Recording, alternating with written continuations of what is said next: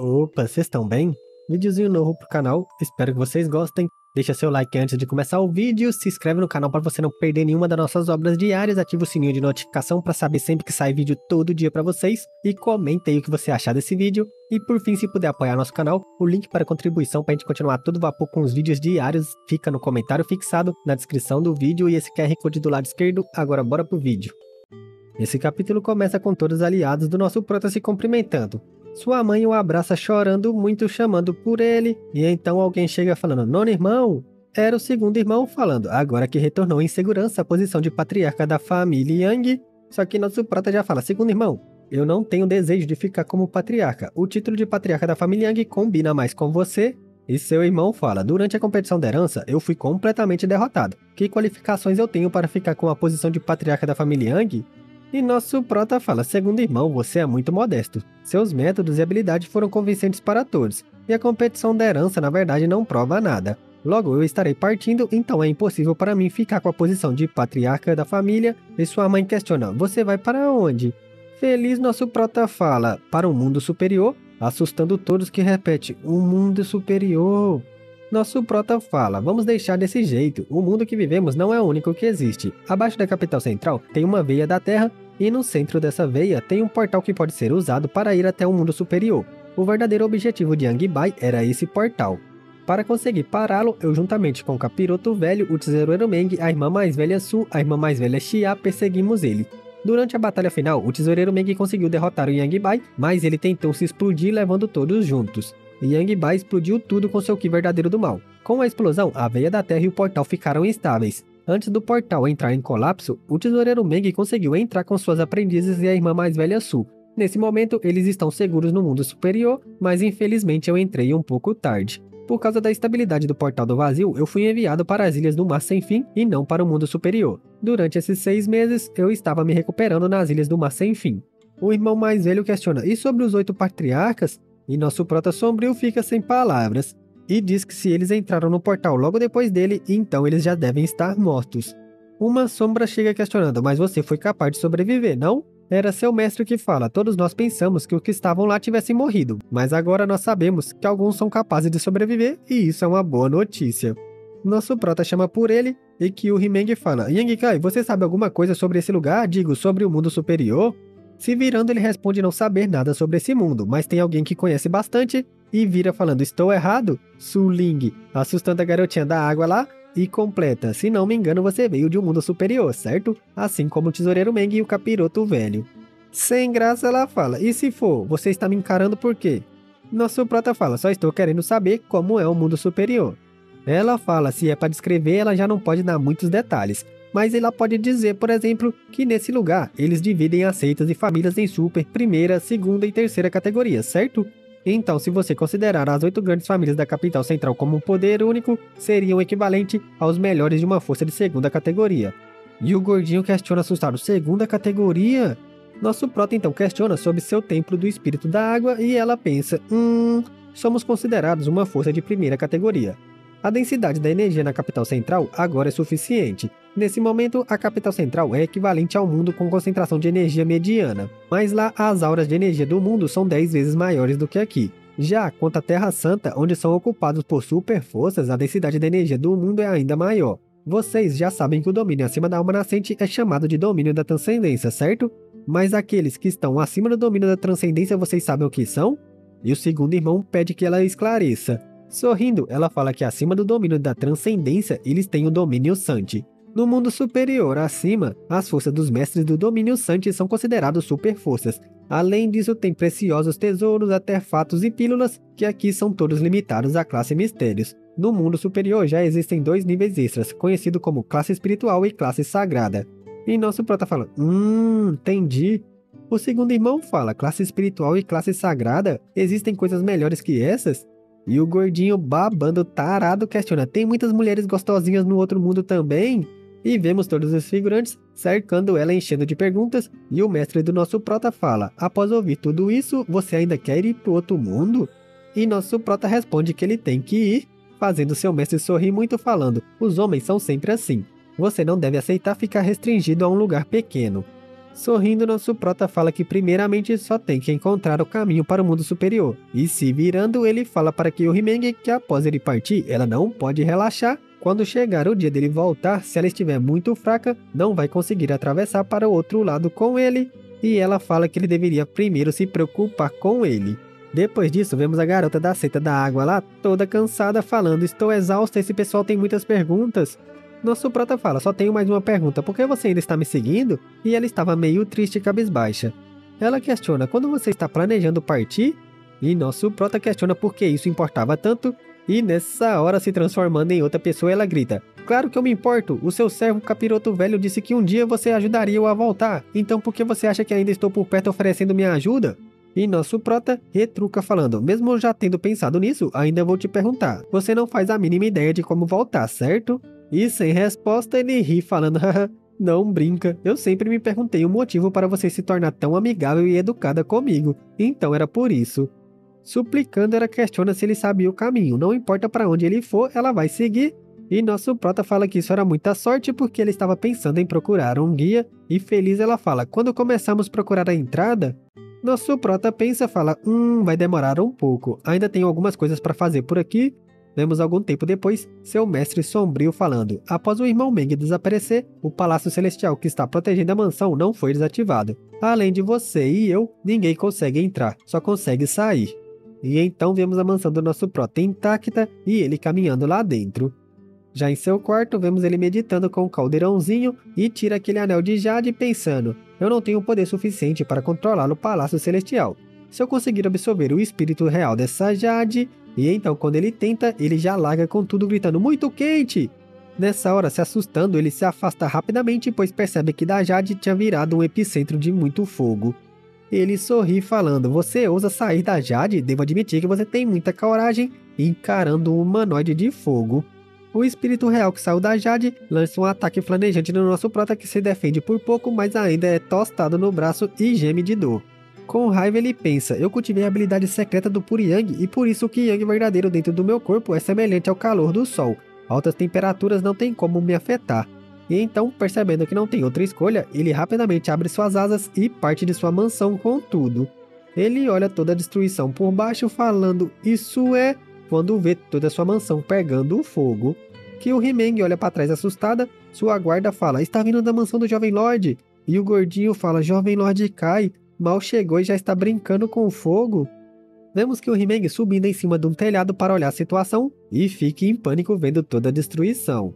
Ao seu lado, alguém chega falando: Esse fogo é do espírito real de Jade. Era sua guarda de sangue e que o Himeng questiona: Espírito real da Jade? A guarda responde: Sim, a matriarca não ficou sabendo sobre isso. Isso aconteceu e conta tudo para ela. E algum tempo depois vemos os três lá parados e que o Himeng questiona: Então foi naquele dia e o Xian diz que nosso prota parece estar querendo absorver o poder do espírito real da Jade para ficar mais forte, mas parece que ele está sendo um pouco apressado. E que o Himeng questiona: tem alguma forma de você ajudá-lo? Tu Feng fala que cultivadores normais como eles é impossível fazer algo assim. O calor que está no local não é algo que eles consigam aguentar. Se não fosse pelo Palácio Real bloqueando o poder do espírito, ele receia que metade da cidade já teria sido queimada até as cinzas. O motivo para o jovem Lorde ser capaz de resistir é por causa da sua habilidade secreta que ele cultiva. O gordinho olhando fala: Hã? Após ficar tanto tempo com o jovem Lorde, você ainda não entendeu? Se ele tem coragem para fazer isso, é porque ele está confiante de que tem habilidades para conseguir. Vamos apenas sentar e ficar assistindo. Cada ação que ele faz é sempre planejada e que o Himeng questiona: Mas e se e o gordinho já corta falando: se ele realmente não conseguir, o jovem Lorde pode simplesmente fugir. Você não percebeu que ele escolheu de propósito absorver o espírito real de Jade dentro do Palácio Celestial? E vemos nosso prota encarando o espírito real. Ele pensa, ele não sabe voar, isso deixa as coisas um pouco mais fácil, mas com essa temperatura, e nessa hora percebendo algo, ele voa até um local pensando, é claro, a cama de cristal de gelo da Suian, e pousa em cima dela. Nessa hora, vemos que todo o fogo começou a se agitar parecendo um tufão. O espírito real estava encarando tudo isso, enquanto nosso prota começava a absorver tudo, fazendo uma cara muito feia e como se fosse um buraco negro e não parava de absorver, e o espírito real só fica lá paradinho tentando resistir a essa sucção. O fogo de toda a mansão não parava de convergir para dentro do nosso prota como se fosse um ralo sem fim, e vemos os três em cima do telhado absorvendo toda a situação na mansão. E o Xian grita assustada: o fogo está sendo engolido pelo jovem Lorde. E que o Himeng fala: o Palácio Celestial está. E vemos o palácio se desfazendo na mão do nosso prota e toda a destruição dentro de sua mansão. Algum tempo depois, dois dias se passaram. Na entrada da capital central, vemos alguém falando: apenas continue cultivando com cuidado. Como estarei com Su Ling, vocês não precisam se preocupar, eu ficarei bem. Volte e cultivem e não percam tempo. E o Xian, percebendo algo, fala que nosso prota absorveu o poder do espírito real, mas sua cultivação não progrediu. E Tu Feng fala que, no mínimo após absorver, deveria ter ajudado o jovem Lorde a avançar uma ou duas camadas. Para onde será que foi o poder do espírito real de Jade depois que nosso prota absorveu? Mas fazer o que eles estavam falando do nosso prota, né? Todas as lógicas e regras não se aplicam a ele. Depois de um bom longo tempo já na dinastia Tianlang, vemos duas garotas conversando caminhando. Elas passam por duas pessoas que questionam: Senhorita, por favor, espere um minuto. Uma delas questiona: Tem algo em que podemos ajudá-lo, irmãozinho? E a pessoa fala que precisa de informação para chegar em um lugar. Será que elas sabem como chegar no templo de Senluo? A garota questiona: Você está querendo ir ao templo de Senluo? Por que você queria ir até esse lugar? E vemos que essa pessoa era nosso prota que fala: Estou procurando por alguém. Eu deixei algo com ela algum tempo atrás e preciso pegar de volta. E a garota, desconfiada, questiona: Por quem você está procurando? O que você deixou com essa pessoa? E nosso prota, retirando a touca, fala: Isso é um assunto particular, espero que as senhoritas possam entender. A garota questiona: Assunto particular? A garota que o estava acompanhando questiona: Ei, nós não vamos? E nosso prota já fala: Por que tanta pressa? Ainda tem alguns assuntos inacabados. Nessa hora, percebendo algo, ele faz pressão e então um inseto sai da terra e ele fala: Um inseto controlador da alma? A garota assustada questiona: Como você sabia? E sorrindo ele fala: Claro que eu sei. Em pânico ela fala: Impossível, os insetos controladores da alma são as principais heranças da nossa facção. Como é possível o cultivador da grande dinastia Han saber sobre eles? Nosso prota questiona: Qual é seu relacionamento com Zimo? E a garota assustada fala: Você conhece nossa irmã mais velha? Sorrindo, nosso prota fala: Irmã mais velha? Que coincidência! A garota questiona: Como você conhece ela? Nosso prota devolve o inseto controlador de alma e fala: Sua irmã mais velha e eu somos velhos amigos. Me leve para ver sua irmã mais velha, tenho algo que preciso conversar com ela. As duas garotas se encaram e algum tempo depois vemos eles caminhando junto. Cochichando, ela questiona como a irmã mais velha conhece um cultivador da grande dinastia Han, e pelo seu comportamento parece que ele e nossa irmã mais velha têm alguma história. E a outra fala: será que ele veio até aqui para se vingar? Nosso prota nessa hora fala, essa Áurea, percebendo algo. Vendo nosso prota partir a toda velocidade voando, a garota que o acompanhava grita: Ei, para onde você está indo? O que eu vou fazer agora? Depois disso, vemos uma floresta e várias montanhas. Nosso prota caminhava falando: Eu consigo sentir a Áurea vindo daqui, mas não tem ninguém aqui. Nessa hora, ouvimos uma voz questionando: O que você quer? Nós já saímos do templo Shenluo como você queria. Vocês realmente são tão cruéis ao ponto de ignorar que um dia tivemos uma amizade para vir nos matar? Nosso prota fala: Garotinha boba, você ainda continua tão bocuda? Antes de perguntar quem sou, já começou com seu interrogatório me acusando. Ele espera mais um pouco e nessa hora alguém aparece falando: Essa voz. Seu maldito, por que você veio de tão longe até a dinastia Tianlang para causar problemas? Nosso prota sorrindo a encara falando que sentiu sua falta então veio vê-la. Sorrindo, ela questiona: Você acha que eu sou uma garotinha ingênua que você pode enganar com mentiras? E nessa hora vemos a garota que acompanhava ele cansada falando Yang Kai. A loirinha número 2 fala que ele disse sentir sua falta, mas veio com outra mulher a ver. Hã, você sempre foi assim. Não fica sem uma garota bonita nos braços. A jovem que acompanhava nosso prota questiona: O quê? Não diga isso, eu não tenho nada com ele. E a Lourinha fala que isso não importava, se ficar andando por muito tempo com ele, cedo ou tarde vai acabar se tornando mulher dele. Se quiser manter sua inocência, o melhor que pode fazer é ficar bem longe dele, só assim estará segura e nosso prota sem graça diz que não se vê há muito tempo e a primeira coisa que ela faz é difamar sua pessoa. Quando foi que ele a enganou? E fala para a garota ao seu lado parar de bater em seu rosto. A loirinha com raiva fala: Quando você me enganou? Todos esses anos depois que você me tocou e me beijou com tanta força, isso não foi me enganar? Se não fosse por esse pequeno acidente, eu já teria perdido tudo para você. A garota irritada ao seu lado fala: Eu sempre soube que você era esse tipo de pessoa. E vendo que ela acreditou nessa mentira, nosso prota questiona se ela não tinha cérebro. Nessa hora, aquelas duas figurantes chegam gritando: Irmã mais velha, essa pessoa. E a loirinha fala: Não precisa ficar nervosa, ele não é um inimigo.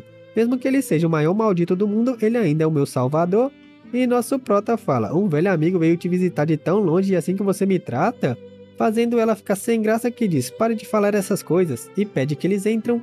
E suas duas companheiras ainda estavam em dúvidas, mas ela fala que não se preocupe, ela vai explicar tudo para o mestre depois. Eles entram pela passagem da caverna que se fecha. Lá dentro vemos eles caminhando por um túnel. A loirinha fala: Vocês duas, levem ele para um quarto vazio acima, eu preciso informar o mestre. E as duas falam: Sim, afinal, estranhos não eram permitidos por ali. Mas considerando quem nosso prota era, ela decidiu permitir e explicar depois. Fazendo nosso prota dizer que parece que ainda tem uma boa reputação e as garotas pedem que ele a sigam. Já no quarto reservado para eles, vemos a garotinha da seita da água lá feliz falando Uou! E nosso prota pede ajuda com seu casaco. Era um pequeno quarto de pedras lindo. A figurante fala: Hehe, esse quarto na verdade é bem grande, o meu quarto tem a metade desse tamanho. Nosso prota começa a usar a consciência divina pensando, tem em torno de 100 pessoas vivendo nessa montanha. A maioria das pessoas vivendo aqui são da geração mais jovem. Dentre eles, tem 10 mestres na alma nascente. Um deles deve ser o mestre que Zimou falou, e a 50 quilômetros desse lugar está a única super força da dinastia Chanlang. Zimo é uma discípula do tempo Senluo. Então, ela e os outros cultivadores devem viver dentro dos limites da seita, mas estão escondidos nessa caverna subterrânea. Esse tipo de situação parece quando tem uma briga interna na seita. Algum tempo depois, a loirinha volta dizendo que o mestre permitiu que ele fique ali por um tempo, mas ele vai precisar partir o mais rápido possível. Como as coisas estão agora, não é conveniente para eles receberem pessoas de fora, e nosso prota fala que isso era ótimo, ele não estava planejando ficar por muito tempo, e a loirinha questiona: Me diga, o que veio fazer aqui? E ele fala: Para te libertar, deixando ela coradinha sem palavras, e fala: Isso não importa, eu não ligo. Só que nosso prota colocando a mão em sua testa fala: Mas eu me importo. Apenas relaxe, não vai demorar muito, e vemos ela coradinha enquanto nosso prota canalizava sua intenção divina. Vemos uma grande pressão nela e ele fala: Prontinho. Ela questiona: Essa consciência divina opressora veio do seu mar do conhecimento? Em qual domínio você está agora? E nosso prota fala que estava na sexta camada da alma nascente, deixando ela sem palavras que fala, parece que depois de partirmos, você teve muitas aventuras, e nosso prota só diz que teve sorte. Mudando de assunto, ele fala que além de remover a sua estigma da alma, também gostaria de pedir sua ajuda. Ele precisava ir até a área proibida no templo Shenluo, nas terras abandonadas, assustando a loirinha que fala Você... Vemos um silêncio constrangedor e a garota ao lado do nosso prota questiona por que ela ficou quieta. Onde ficava essa terra abandonada? A Lourinha explica que a terra abandonada é uma região deserta que nem mesmo ervas conseguem sobreviver. Não importa para o lugar que você vá, sempre existe uma crise para enfrentar e uma misteriosa energia capaz de cortar qualquer coisa ou qualquer pessoa pelo meio. Todos que tentam explorar mais fundo morrem. E questionam o que nosso prota planejava fazer lá, e ele diz que tem suas próprias razões, deixando ela desconfiada que fala: "Você realmente deve odiar minha vida tranquila e calma, certo? E ele fala: Não se preocupe, só quero que você me leve até a entrada, não precisa entrar comigo, assim você não estará em perigo. A Lourinha fala que a Terra Abandonada não está em um estado pacífico ultimamente. Algum tempo atrás, os mestres da dinastia Tianlang reconheceram que existia um segredo incrível escondido dentro das Terras Abandonadas. Há pouco tempo atrás, vários grupos de pessoas fortes se uniram para explorar as Terras Abandonadas. Se você for até lá, nosso prota já interrompe dizendo que ela não precisava se preocupar com isso. Ele já decidiu entrar, então não tem medo dessas pessoas. E ela fala que ele ainda continua muito selvagem, e a garota ao seu lado só ouvia tudo isso sem palavras. Se levantando, ela fala: Espere aqui um minuto, preciso perguntar para o meu mestre. Se eu não receber a permissão para sair, vou te dizer o caminho e você poderá ir sozinho. As terras abandonadas não são tão difíceis de encontrar. E ela parte deixando os dois sozinhos, e a garotinha feliz fala: Ei, o caminho para o mundo superior está na Terra abandonada? E nosso prota só fala: não pergunte nada e só me siga, deixando ela emburrada, que bufa. E algum tempo depois, a loirinha volta dizendo que, como ele a salvou, seu mestre diz que ela pode ajudá-lo e pede que ele a siga, chamando a atenção dos dois. Os três saíam pela entrada secreta na frente da montanha quando ela se assusta muito e algo chamou a atenção do nosso prota. Eles dão de cara com o um grupo. Um figurante cheio de tatuagens sorria muito. Nosso próton encara sem demonstrar muita emoção, pensando terceira camada da alma nascente? A Lourinha fala, Xamban, o que você está fazendo aqui? E o cara diz que sua pergunta era muito interessante. Esse lugar estava dentro do território do templo Shenluo, então por que ele não viria aqui? E os seus colegas sorriem falando, oh, tem razão. O figurante fala que talvez agora ele não precisa chamar ela de irmã mais nova, e questiona Zimo, você não ficou sabendo que o líder da seita ordenou a expulsão da facção dos insetos imperiais do templo Shanluo? Se continuar ficando aqui, não vai conseguir mais sair. deixando ela assustada que fala: Você é realmente tão cruel? O figurante questiona: Hã? Por que eu não seria cruel? Já que você não é mais uma discípula do Templo Shanluo, suma logo desse lugar, assustando ela. O figurante abrindo seus braços diz: Bem, não é como se não existisse uma forma de negociação. Contanto que você consiga persuadir o seu mestre a se submeter ao meu pai, você vai conseguir retornar para o Templo Shanluo, deixando ela irritada que diz: Vai sonhando. O figurante diz que isso era interessante e pede que eles capturem esses dois cultivadores da dinastia Tianhan e mostrem para Zimo o destino que aguarda aqueles que ousam os ofender. A garotinha questiona o que nos capturar e Yang Kai, isso é... E nosso prota desviando o olhar fala, ei não, olhe para mim, eu não posso fazer nada, a assustando. Ela fica irritada estalando a língua e então ataca os figurantes com bolhas de água e eles gritam, ah, bolhas de água flutuante, é tão brilhante, quando uma explosão ocorre. Nessa hora, quando ele percebe, todos eles estavam presos dentro de uma bolha de água. Em pânico, o figurante pensa: O que, meu que verdadeiro está selado? Que coisa é essa? Todos eles no céu começam a gritar: Ei, eu vou me lembrar dessa vaca. Quando eu sair daqui, eu vou definitivamente falar pro meu pai capturar você. E então eu vou te disciplinar muito bem. Meu pai é o líder do templo Shanluo. Apenas espere, vou garantir que você vai sofrer de forma miserável. Ha ha ha ha. Você ousou me machucar, então eu vou te matar por causa disso. E nosso prota, ouvindo os delírios desse figurante, fala: Ele ficou louco para falar essas coisas agora? Então, família, vemos aqui mais um figurante burro e sem sorte, né? Burro por falar merda pro nosso prota e sem sorte por dar de cara com o nosso prota logo no dia que ele chegou nessa ilha, né? Mas é isso, fica aí com as imagens do domínio, o nível e o rank das pílulas, os físicos especiais, porque eu vou ficando por aqui. Deixa seu like aí se você ainda não deixou, se inscreve e ativa o sininho de notificação para não perder nenhum vídeo diário que eu posto todo dia para vocês aqui no canal às 11h30. Comenta aí o que você achou desse vídeo, dos vídeos do canal e por fim, se você puder apoiar nosso canal, eu agradeço do fundo do coração, é o seu apoio que mantém ele ativo todo dia trazendo um vídeo diários para você desse jeitão. O link para contribuição fica no comentário fixado na descrição do vídeo esse QR Code do lado esquerdo aqui passando. Um beijo para vocês e até amanhã.